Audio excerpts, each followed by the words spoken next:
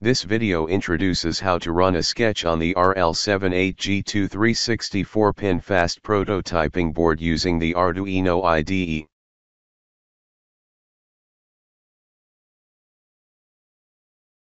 This video shows the RL78 Arduino Wiki Quick Start Guide. Please refer to Arduino Wiki for detailed information.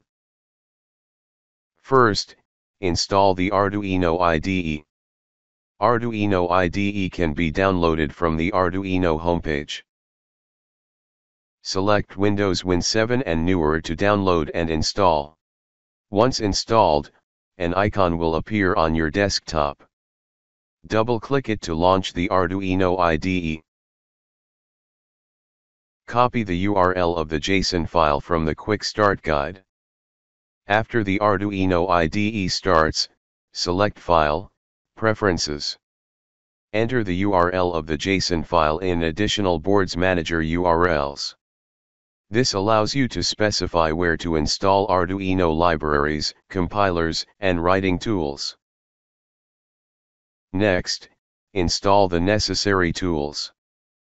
Select Tools, Board, Arduino Uno, Board Manager. Enter RL78 in the text box on the right side of Type All, search for it.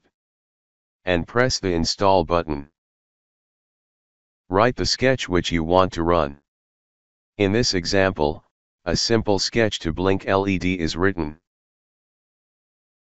Next, set the COM port. Connect the PC and RL78G23 64-pin fast prototyping board via USB cable.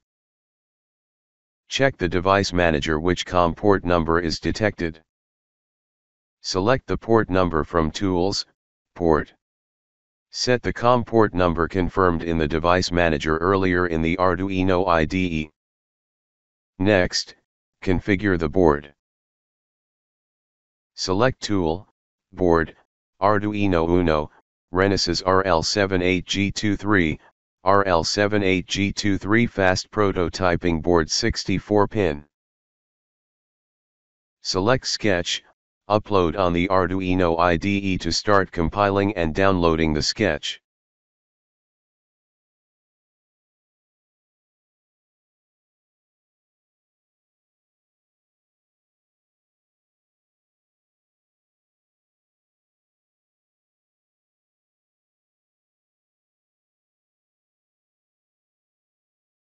Done uploading. As you can see, the LED blinks.